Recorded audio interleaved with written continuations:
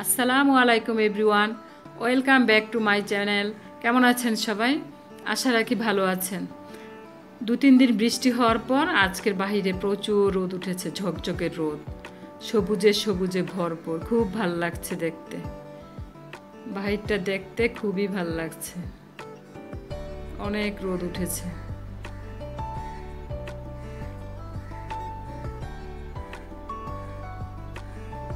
বর্ষা এলে গাছগুলো একদম সতেজ হয়ে যায়।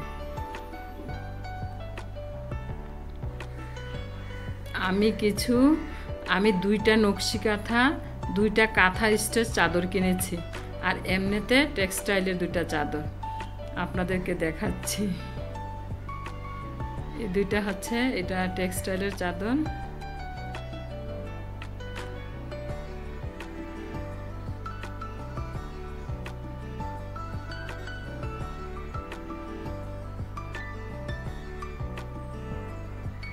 তো কিনিনি আমার হাজব্যান্ড কিনেছে, কিনে বাসায় নিয়ে আসছে।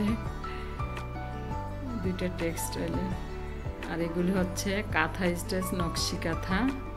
প্রচুর কাজ, আমার খুবই ভালো লাগে নকশি কাঁথার চাদর। নকশি কাঁথাগুলিও নকশ তারপর কাঁথা স্টেজের চাদরগুলি খুবই ভালো লাগে। একটা রেড কালার একটা ব্ল্যাক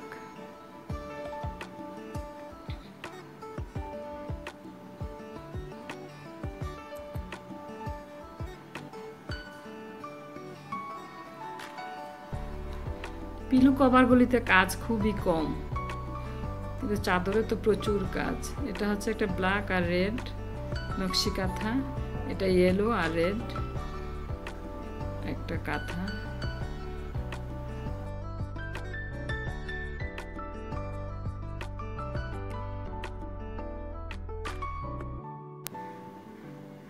খুব ভালো লাগছে দেখতে।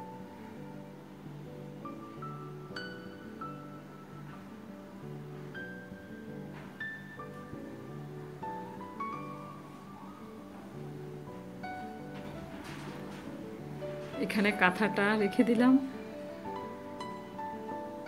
রেড আর ইয়েলো কাঁথাটা। অনেক বড়, চারপাশে পড়ে আছে একদম, প্রচুর বড়। খুবই সুন্দর চাদরগুলো।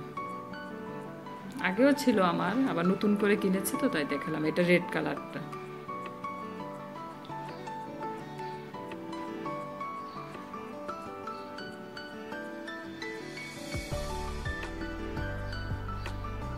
দুটাতে দু রকমের কাজ। এই চাদরগুলো কিনেছি নিউ মার্কেট থেকে। চাদরের প্রাইস নিয়েছে পনেরোশো টাকা করে, আর কাঁথাগুলো নিয়েছে চোদ্দোশো টাকা করে। আর ওই চাদরগুলো তো টেক্সটাইলের, ওইটার একটা তেরোশো, একটা চোদ্দোশো।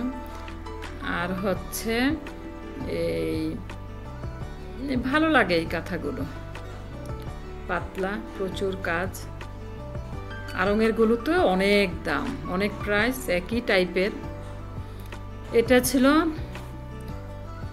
দুপুরের লাঞ্চ ভুনা খিচুড়ি, আর করেছিলাম গরুর মাংস। দুপুরের খাবার। আর এটা রাতের জন্য। রাতে এখানে করেছি কি, আজকে রাতে আর ভাতের আইটেম ছিল না। আজকে রাতে এই নান আর চিকেন করেছিলাম। এখানে নিয়ে নিলাম ময়দা। এখানে অল্প একটু, অল্প পরিমাণে ইস্ট দিয়েছি। প্রায়ই খাওয়া হয়, এই জন্য ইস্টের পরিমাণটা একটু অল্পই দিলাম। আর দিয়ে দিলাম স্বাদ মতো লবণ। দিয়ে দিচ্ছি ঘি। চিনি চিনি চিনি আর ঘি। ঘি দিয়ে দিলাম। এক টেবিল চামচ চিনি দিয়েছি, ঘি দিলাম। দিয়ে দিচ্ছি একটা ডিম।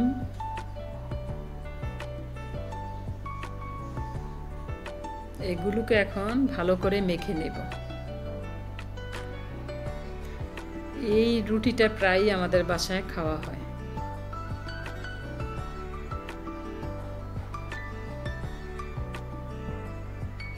এটাকে ভালো করে মেখে এখন দিয়ে দিচ্ছি কুসুম গরম দুধ। একটু করে দুধ দিয়ে দিলাম। এখন এটাকে ভালো ভালো করে মেখে নেব।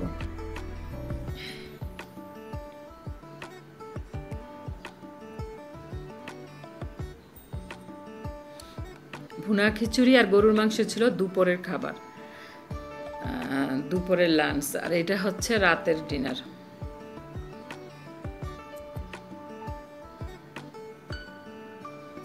তেল দিয়ে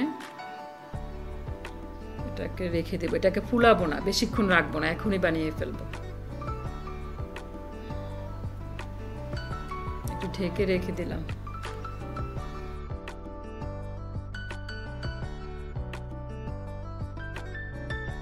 এখানে দিয়েছি আদা রসুন পেস্ট তারপর হচ্ছে এলাচ, দারচিনি, লবঙ্গ, এগুলো সব একসাথে গুঁড়ি করে, গুঁড়া করে রাখা।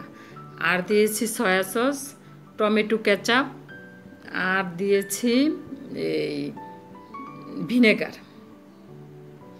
ভিনেগার আর টমেটো সসে খুবই ভালো টেস্ট আসে সয়া সসে।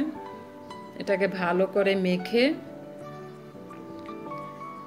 রেখে দিয়েছিলাম দুই ঘণ্টার জন্য। এই মাংসটা আমি আগেই মেরিনেট করে রেখে দিয়েছিলাম, ওইটার ভিডিও করা হয়নি। এখন পাতিলে তেল দিয়ে দিলাম।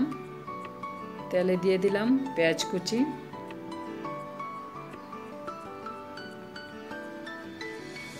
এখন ওই মেরিনেট করা মাংসটা দিয়ে দিলাম।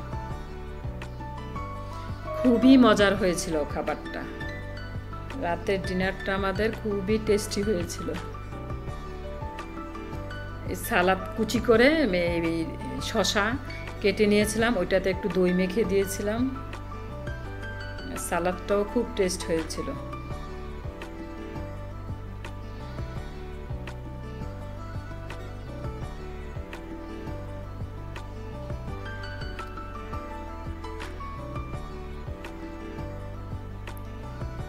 মেরিনেট করা বাটিটাতে একটু পানি নিয়ে এখন হ্যাঁ এটাকে একটু পানি দিয়ে দিলাম। বেশি পানি লাগবে না অল্প পরিমাণে। এখানে সয়া সস, তারপরে ভিনেগার, টমেটো সস, ওইখানে আবার মেরিনেট করে রাখার পরে একটু পানি চলে আসে, হয়ে যায়, অল্প পানিতেই হয়ে যায়। একটু পর মাখা মাখা হয়ে যাবে। সব গরম মশলা দেওয়া আছে এখানে।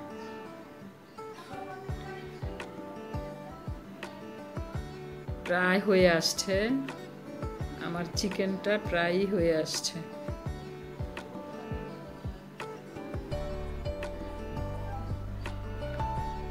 খুবই অল্প সময় লাগে এটা রান্না করতে।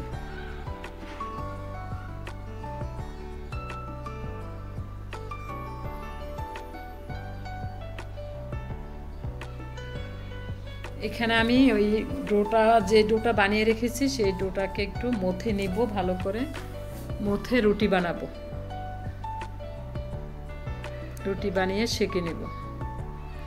এখানে আমি ডোটাকে মথে নিচ্ছি। এটাকে ফুলতে দিই নেই, বেশিক্ষণ রাখি নেই।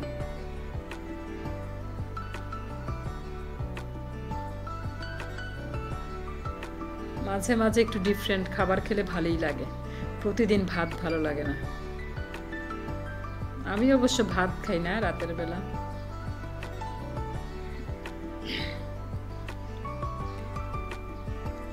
এখানে হয়েছে ছয়টা ছয়টা রুটি হবে। আমি দুইটা রুটি একটা বক্সে দুইটা ডো রেখে দিয়েছিলাম। আর আমাদের ছিল, আমরা চারজন, চারটা। আমি বানিয়েছিলাম চারটা রুটি। শেখার পরে খুব সুন্দরভাবে ফুলে উঠে ভিতরটা, একদম দোকানের মতো। রুটিটাতে ময়দা ছিটিয়ে দিলাম, তারপরে দিয়ে দেব ঘি। এখন দিয়ে দিচ্ছি ঘি।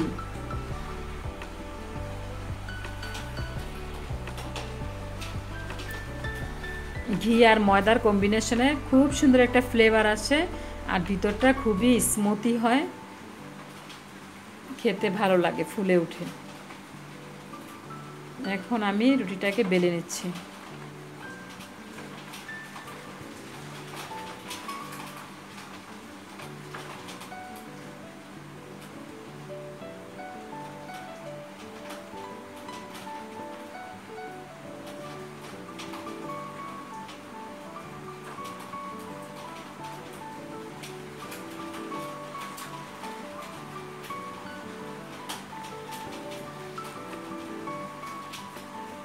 অল্প পরিমাণে একটু তেল দিয়েছি। তেল ছাড়া দুইটা বানিয়েছি, তেল দিয়ে দুইটা বানিয়েছি। আর তেলের পরিমাণ খুবই কম থাকবে। তেল দিলেও ভিতরটা ফুলে ওঠে, তেল না দিলেও ফুলে ওঠে। তেল দিলে একটু চিকচিক করে দেখতে ভালো লাগে। এই। আমি বেশিরভাগ সময় তেল ছাড়াই বানাই।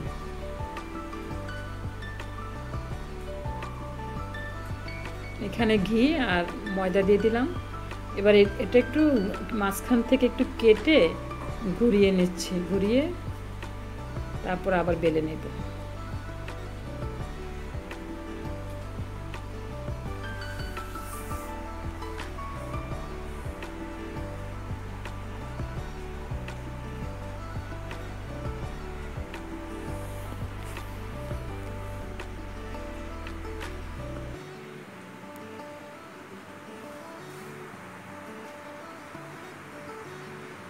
একটু মোটা আকারেরই থাকবে। রুটিটা একটু মোটা আকারে থাকবে। মাঝে মাঝে এভাবে করে বাচ্চাদেরকে দিতে পারেন। সবার জন্যেই। বাচ্চারা, বড়রা সবাই খেতে পারে। ভালো লাগে।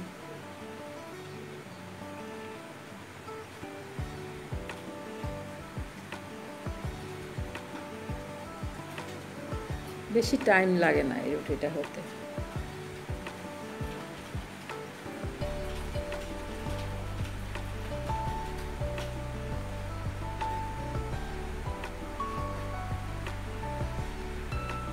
এটা হচ্ছে তেল ছাড়া।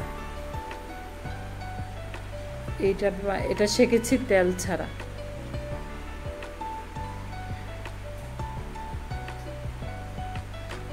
আমার কাছে তেল ছাড়াটাই বেশি ভালো লাগে। এই তো হয়ে গেছে আমার রুটি আর চিকেন কারি। নান বা তুন্দুল যেটাই বলি, ভিতরটা খুবই সফট হয়েছে আর চিকেনটাও খেতে খুব টেস্ট হয়েছিল।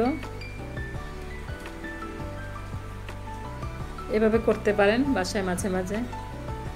ভালো থাকবেন সবাই সবাই সবার জন্য দোয়া করবেন। ভালো থাকবেন সবাই, আল্লাহ হাফেজ।